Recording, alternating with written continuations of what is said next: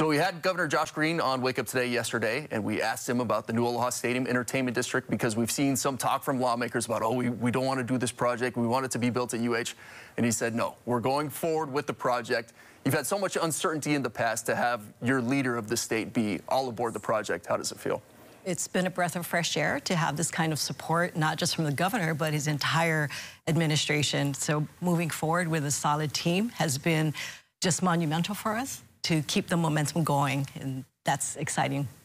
And you folks, Ryan, you just recently reached a new milestone. Uh, can you tell us a little bit about that? We did. We just uh, shortlisted the interested parties for our project, so we're down to two um, priority listed offers who will now move into the proposals phase. So we're now further along than we ever have before.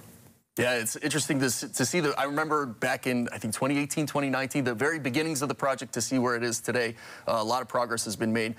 Now that you've chosen these two finalists, what's next for the project? Well, on April 2nd, we hit that second milestone that's new for us. We issued the proposals package. So the teams are working very hard to put their proposals together to get down to the July 31st deadline.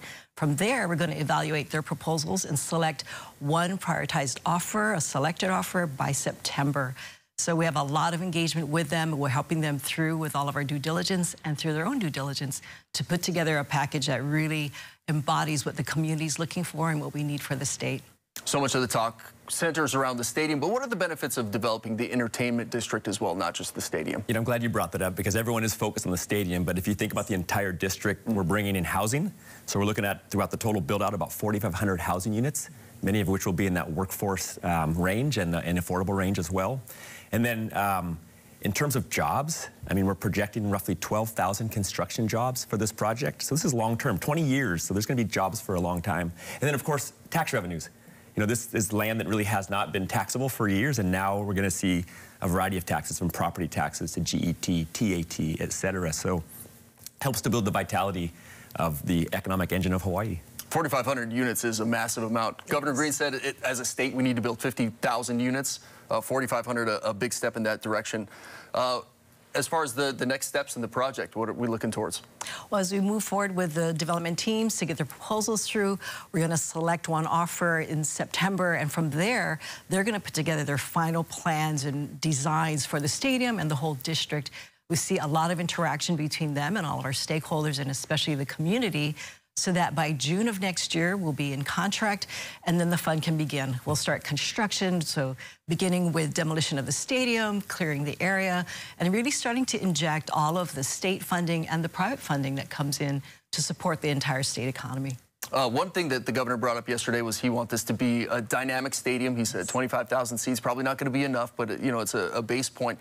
But he said he wants, you know, Olympic qualifiers in there. We saw the, the UFC event with Max Holloway. There's always been talk of having a UFC event.